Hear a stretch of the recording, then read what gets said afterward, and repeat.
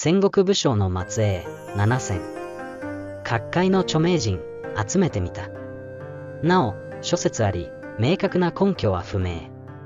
竹中半兵衛泉元屋母節子の家系が半兵衛の子孫。伊達政宗伊達幹夫直系子孫ではなく政宗の分家。明智光秀クリス・ペプラー。母方の祖母が光秀の血筋。吉川元春吉川浩二毛利元就の次男である吉川元春の末裔。八須賀古六釈由美子。古六の末裔が出家して釈に改名。甘利虎安甘利明。信玄の重臣虎安が先祖。